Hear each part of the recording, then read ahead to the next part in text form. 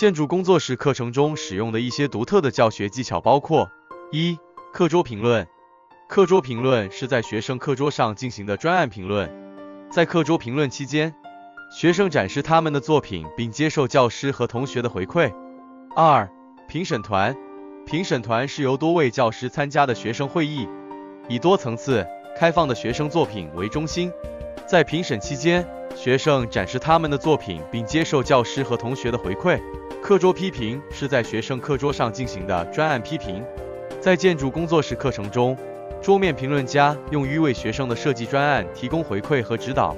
在桌评中，学生向老师和同学展示他们的作品，并接受建设性的批评和改进建议。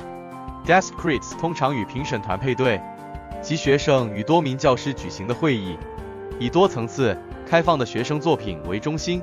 建筑工作室课程中的评审团是学生向讲师小组展示他们的作品以获取回馈和评估的会议。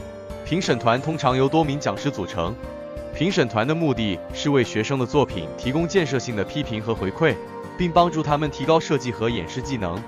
在建筑工作室课程中，评审团会议是学习过程的重要组成部分，因为他们为学生提供了从多个角度接收对其作品的回馈的机会。海报板是一种大型白板或公告板，用于建筑工作室课程中展示学生的作品。它通常位于教室中央，在评审会议和评审团会议期间用作学生和教师的视觉参考。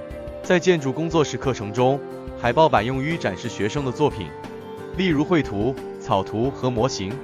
学生可以使用海报板向全班展示他们的作品，并接收老师和同学的回馈。智慧板是一种互动式白板，允许使用者使用手写笔或手指书写、绘制和操作数位内容。在建筑工作室课程中，智慧板可用于在评审会议和评审团会议期间显示图纸、图表和其他视觉辅助工具。学生可以使用智慧板展示他们的作品，并接收来自教师和同学的回馈。